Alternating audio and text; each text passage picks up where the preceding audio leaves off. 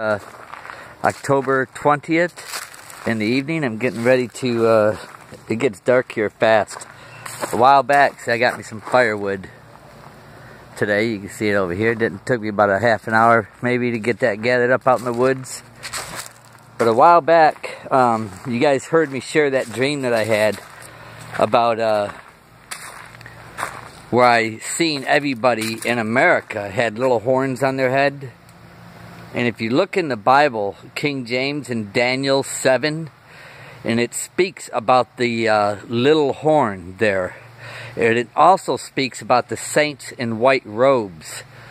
And I believe now we're at that time because uh, about the time I had that dream, it was when, according to the Jewish calendar, was uh, around the 3rd of October when it was 5777 and everybody's seen all those sevens, how I've given it out on my receipts and my photo picture taken at that time.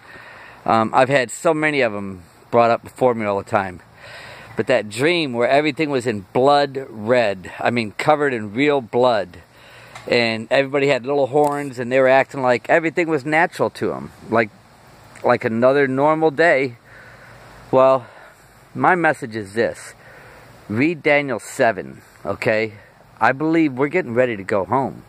I think this is getting ready to be it. We, if it's not by the end of this month, I always said several months ago, I said if we're here after October, I'll be surprised. But I know this for a fact. We won't be here for 2017. Another thing, a lot of us, we've been separated from this, uh, what's going on here. And let me tell you something. Anybody that Jesus has chosen and we've been separated, Jesus Christ doesn't lose anybody. You can be sure of that.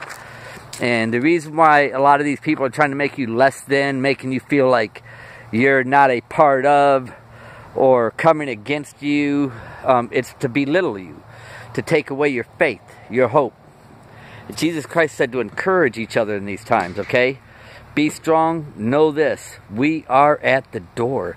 That's why uh, several weeks ago we were all here knocking on the door.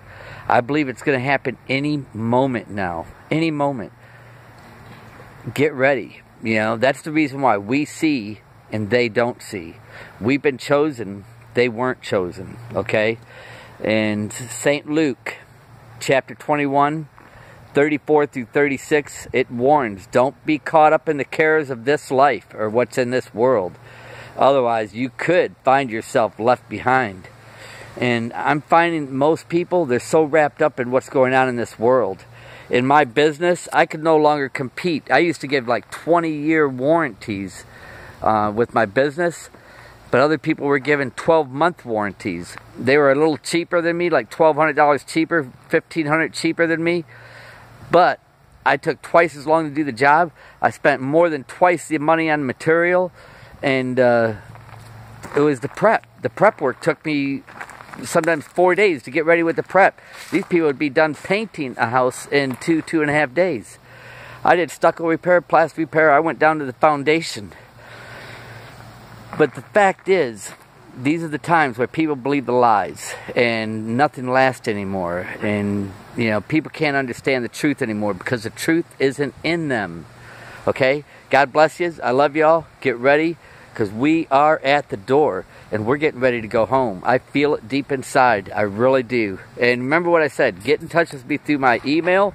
I gave my phone number out and my email address on my last videos. Get it off of there, okay? God bless yous.